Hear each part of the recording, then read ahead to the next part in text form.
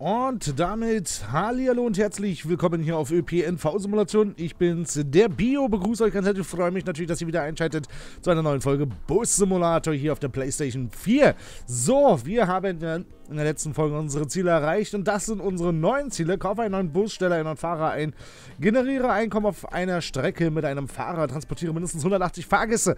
Das werden wir jetzt äh, hier in dieser Folge tun und dann können wir uns jetzt mal so ein bisschen um die Kommentare unterhalten von den letzten Folgen. Erstmal an der Stelle vielen, vielen Dank für euer Feedback und ähm, für, für eure Kommentare. Das ist sehr, sehr nett, sehr positiv. Halt viele, viele Fragen sind halt auch bezüglich der Xbox-Version, der PlayStation-Version und so weiter und so fort.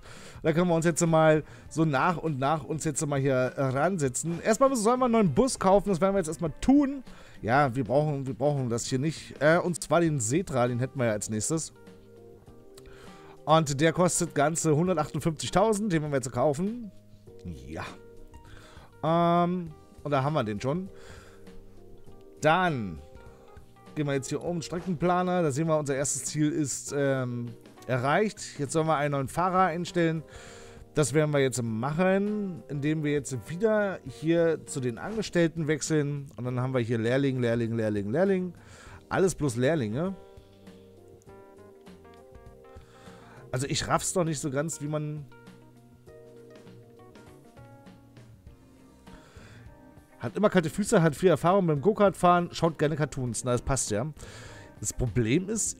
Ah, so. Ach, da ist das. Ah, okay. Das ist so leicht bläulich. Okay.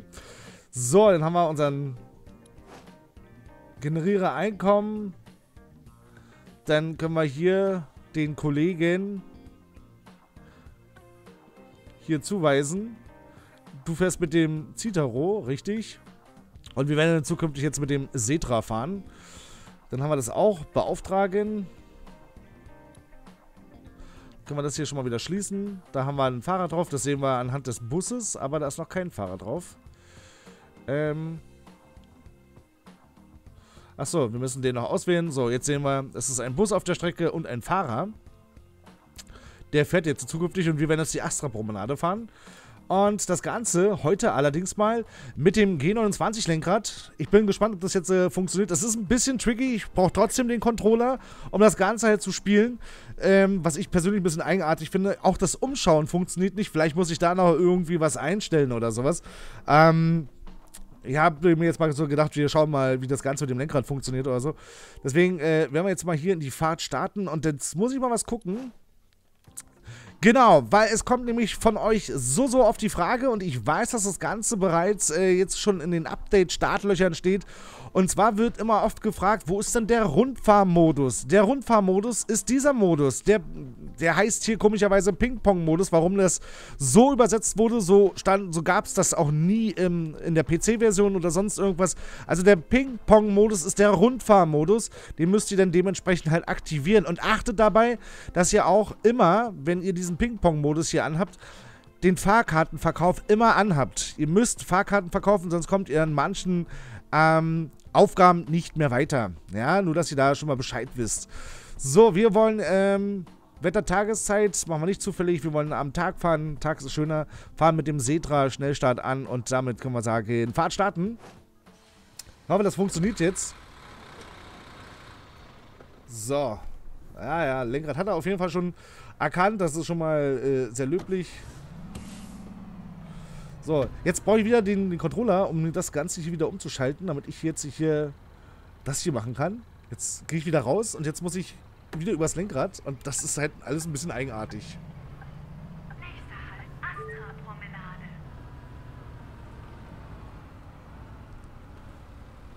Oh.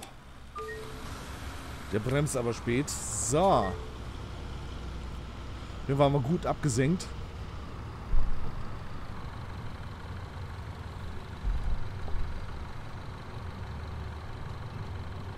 Kommt da noch wer? Nö, sieht nicht so aus.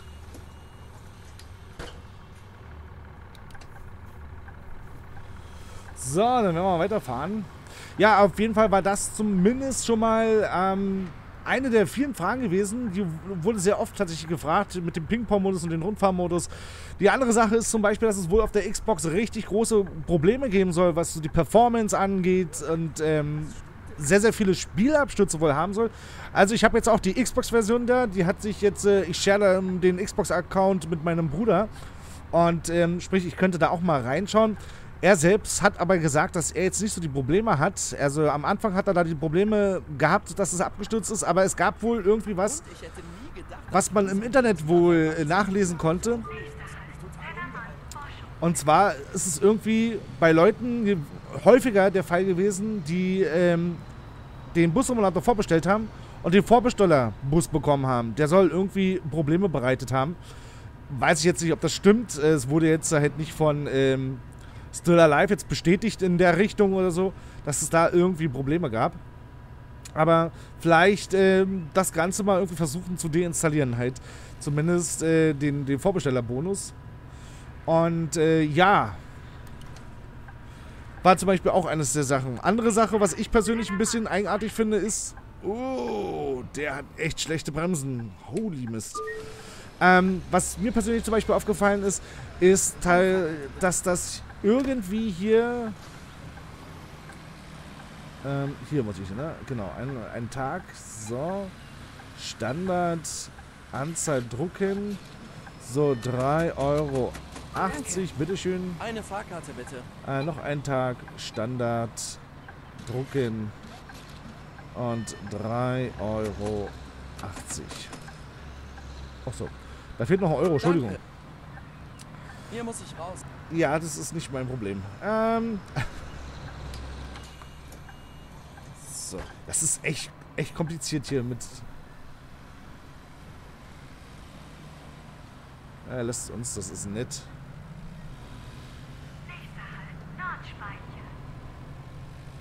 Ja, also das, wie gesagt, da gab es wohl auch Probleme. Ähm, schade eigentlich. Also ich habe auch gelesen, viele sind sehr, sehr zufrieden mit dem Bus-Simulator. Man merkt halt, dass die Performance halt, dass es wohl nicht so hoch aufgelöst ist. Ähm, da habe ich auch gelesen, dass da auch irgendwie was äh, so patch-technisch irgendwie nochmal nachkommen soll. Ich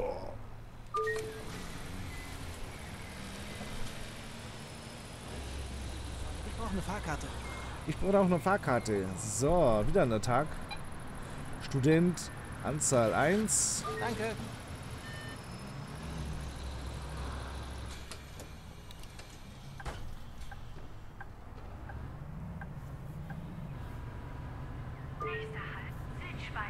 Südspeicher. Wie gesagt, aber es kann doch mal sein, dass ich hier beim Lenkrad mal irgendwas einstellen muss. Ja, das ähm, G29 ist ja für die PlayStation 4. Ihr könnt das natürlich mit dem ganz normalen DualShock spielen. Ihr braucht jetzt hier kein Lenkrad oder sonst irgendwas. Ja, also ich teilweise muss ich sogar sagen, finde ich jetzt mit dem Controller doch irgendwie bequemer zu spielen als jetzt mit dem Lenkrad, weil du halt jetzt irgendwie gefühlt beides nehmen musst. Aber wie gesagt, das kann jetzt auch wirklich nur sein, weil das ähm, das jetzt nicht richtig eingestellt ist. Kann ich bitte eine Fahrkarte? Eine Fahrkarte. Soll zu bekommen in einer Woche. Standard. So.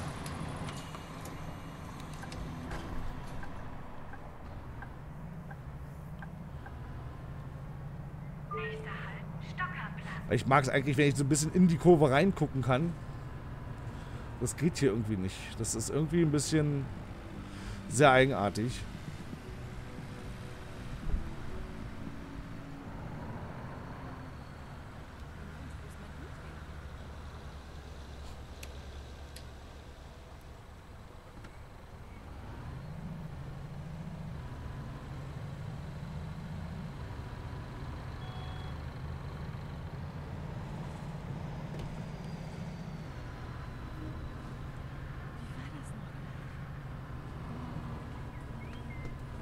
Genau, auf dich habe ich gewartet. Also ich muss aber auch sagen, also das Spiel ist jetzt wirklich... Krieg ich jetzt äh, kein Award oder sowas von der Grafik her gesehen. Aber ich muss sagen, dafür, dass es eine Bus-Simulation jetzt endlich mal für eine Konsole gibt, finde ich es doch echt okay, was wir hier geliefert bekommen. Es hat war wirklich viele, viele Macken noch. Ich hoffe, dass das eventuell von Still Alive dann noch so ein bisschen ähm, gepatcht wird alles. Aber ich gehe mal schon stark davon aus, Danke. dass sie das machen. Ich brauche eine Fahrkarte. Eine Einzel, Standard und drücken. Danke. Bitte. Eine Fahrkarte bitte. Einmal Tag, Standard. Nein. Drucken. So, 13.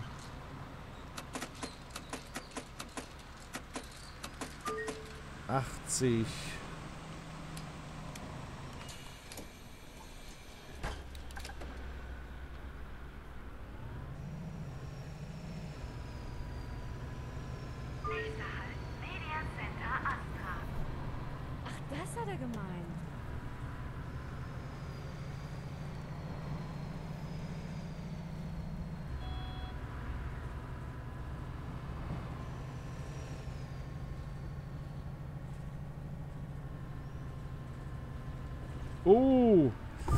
Eieieiei, da war die Bodenschwelle.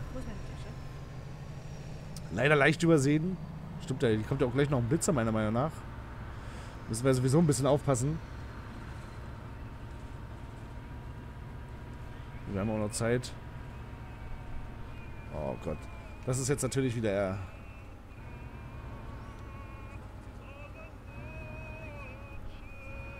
Was Ich sehe keine Kopfhörer.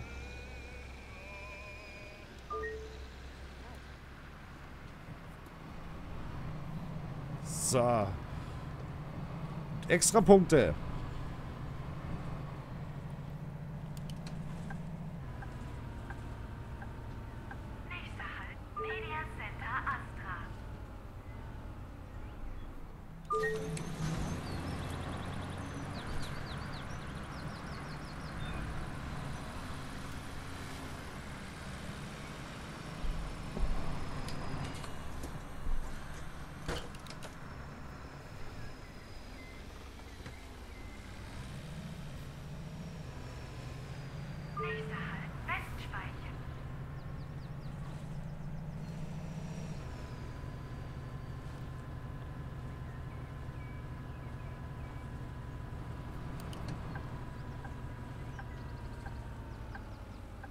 Hier zum Beispiel, ne? Hier guckt man normalerweise eigentlich in die Richtung.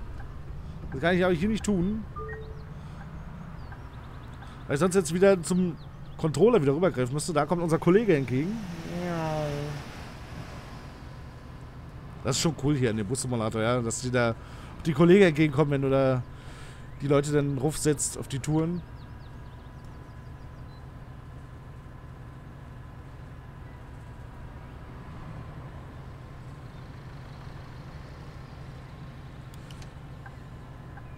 Aber auch mit dem Lenkrad. Also wie gesagt, das ist, ist auf jeden Fall schon cool, wenn du damit fahren kannst. Aber was, dadurch, dass du beides brauchst, irgendwie ein bisschen unhandlich das Ganze. Oh, wow. Ist das ein neuer Bus? Der Bus gefällt mir. Oh.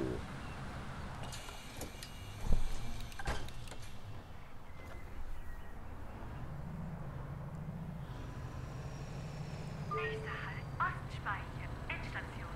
Bitte alle aussteigen. So, Endstation schon wieder.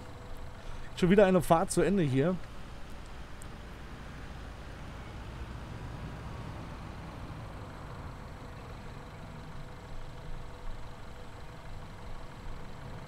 Ja, auf jeden Fall, das sind so die ganzen Kommentare, die ich jetzt auf jeden Fall, die mir jetzt auf jeden Fall so im Kopf geblieben sind, was jetzt ein bisschen bemängelt wurden. Waren aber auch viele dabei gewesen, die sich sehr gefreut haben, dass der Bus-Simulator da ist. Also auch ich kann das halt bestätigen. Wie gesagt, zu meiner Zeit hätte ich mich sehr, sehr drüber gefreut, wenn es sowas gegeben hätte bei uns. War aber dem nicht so. Damals brauchte man schon Hm, Film? einen guten PC für. Gedacht, der gerade angelaufen ist. Ja, klar. Nächster Halt, Ostspeicher. Endstation. Bitte Oh, hier, Unfall.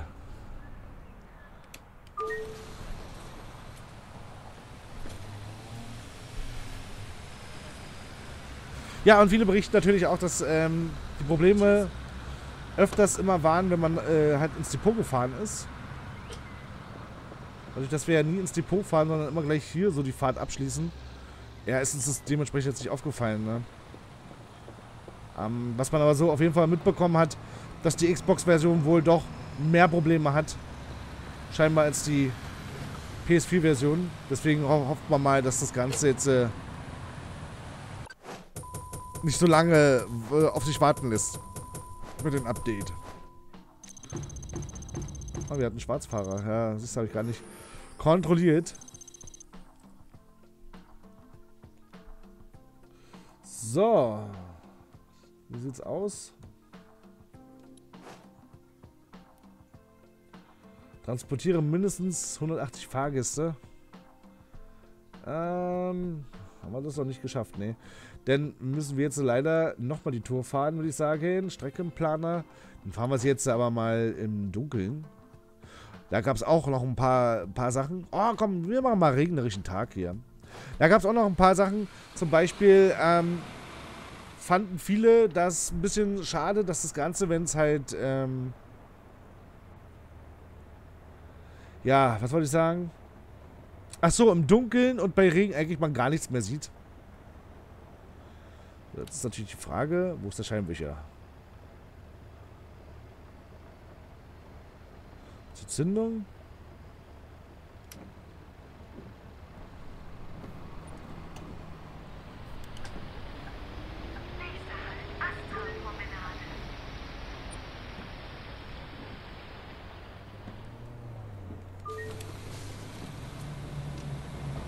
Blockieren die Tür.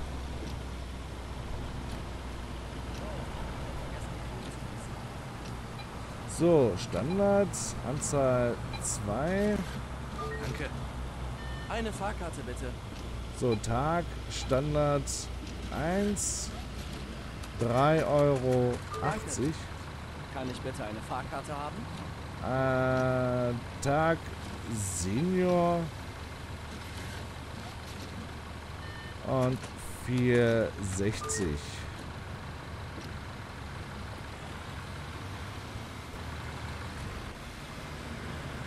So, das war das gewesen mit blockiert die Tür. So, gut. Dann können wir weiterfahren. Ring sieht schon hübsch aus. Das wollen wir mal lassen.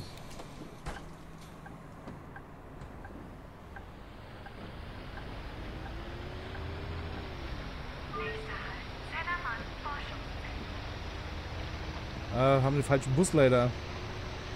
Sehe gerade.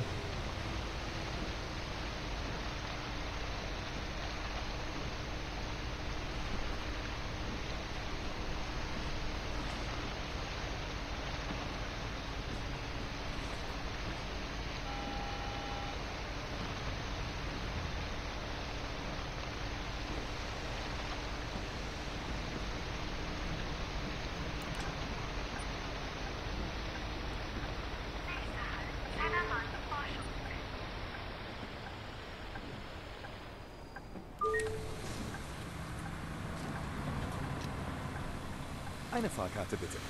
Eine Fahrkarte. Ähm, Tag, Standard.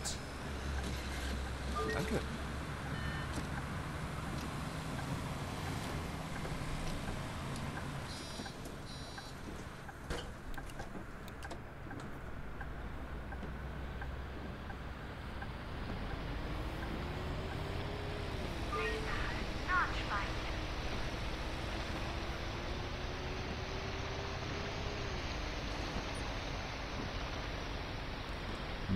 by here.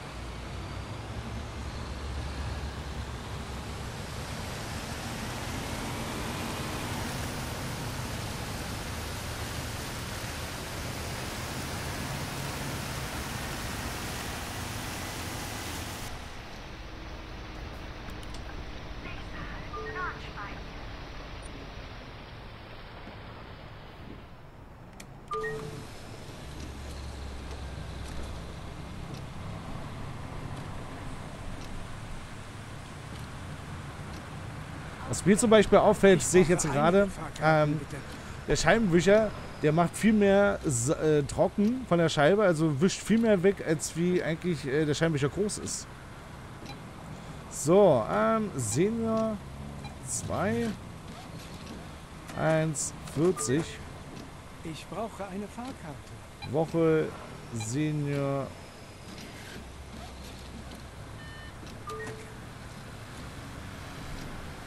Fällt mir jetzt nur gerade so auf.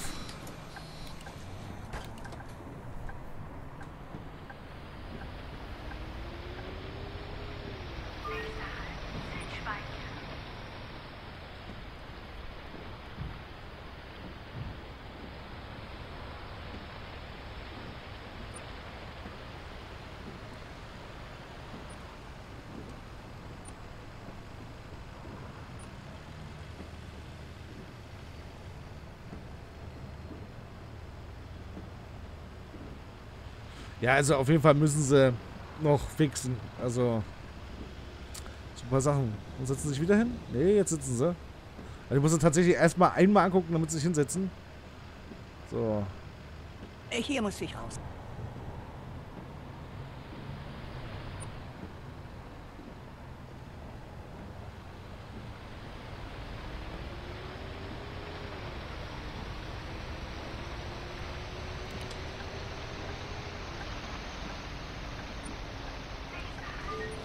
Fühlt mich, als hätten wir gestern im alten Sägewerk durchgefeiert.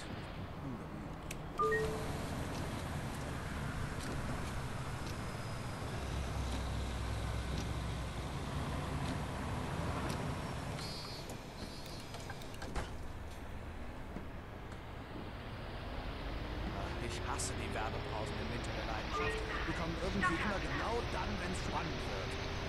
Normal ist das alles. Normal, wenn das halt kommt, wenn spannend ist.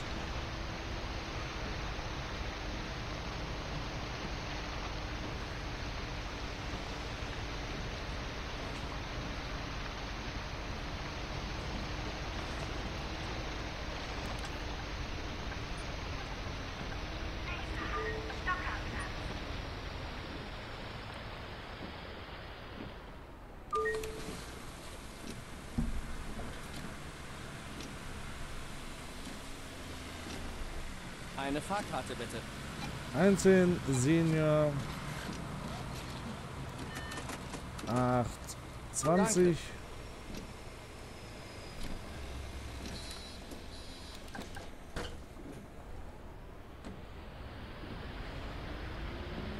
Oh nein, nein, nein. Äh, Entschuldigung.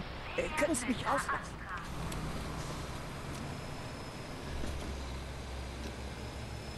Danke.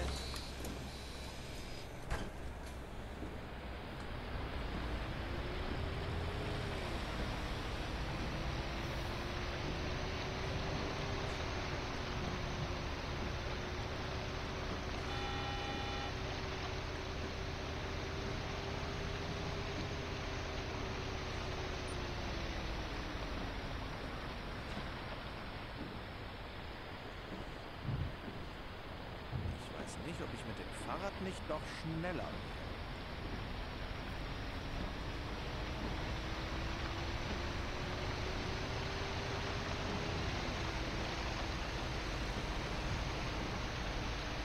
Ja, also im Regen ist schon interessant zu fahren.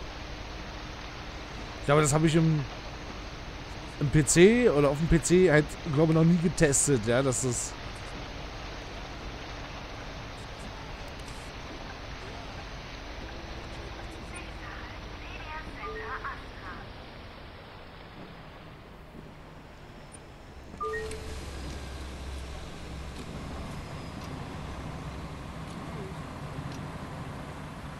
Ich brauche einige Fahrkarten bitte. So, Woche, Standard 2, Danke. Eine Fahrkarte bitte. Woche, Standard. Danke.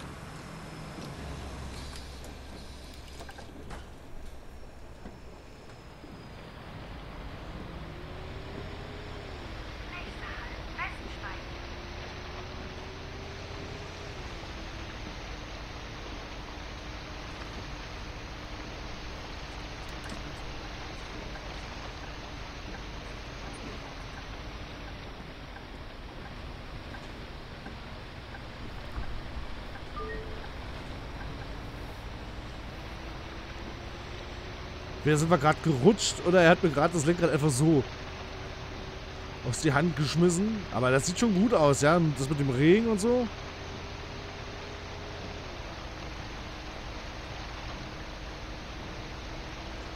Also da muss er sich auf jeden Fall nicht verstecken. Aber das ist ja auch die Unreal Engine. Ja, da geht das schon. Da kann man auf jeden Fall schon coole Sachen Ich mitmachen. habe gestern Shampoo gekauft. Schön, sie hat Shampoo gekauft. Absolut. Danke. Ich denke, ich brauche mehrere Fahrkarten, bitte.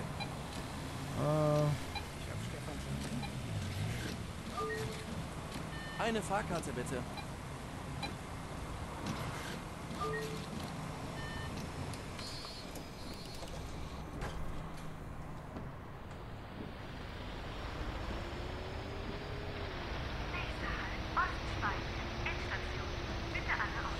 Endstation. Bitte alle aussteigen. Aber wir werden jetzt die Aufgabe noch nicht abgeschlossen haben. Müssen wir in der nächsten Folge dann machen. So, den abschließen, weil wir jetzt. Es war ein bisschen blöd, weil ich jetzt äh, genau den falschen Bus genommen habe.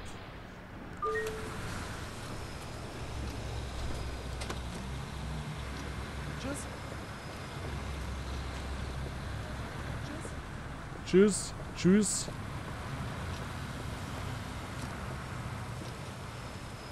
So.